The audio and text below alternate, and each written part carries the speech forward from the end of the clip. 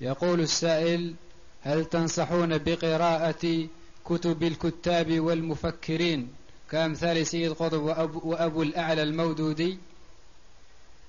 ننصح بقراءة الكتب المفيدة كتب أهل العلم كتب الشرعية التي فيها الأحكام أحكام الشريعة تعلمها الإنسان. وإذا كان عنده زيادة وقت فلا بأس أن يطلع على الكتب الأخرى. من باب الاطلاع والثقافة لا بأس. أما أنه يقتصر على كتب الفكر فقط هذا لا لا يصلح له. تعلم العلم أول شيء تعلم الأحكام الشرعية التي هو بحاجة إليها والمسلمون بحاجة إليها فإذا زاد عنده وقت فلا بأس أنه يطلع على الكتب الأخرى تزيد ثقافته واطلاعه. نعم.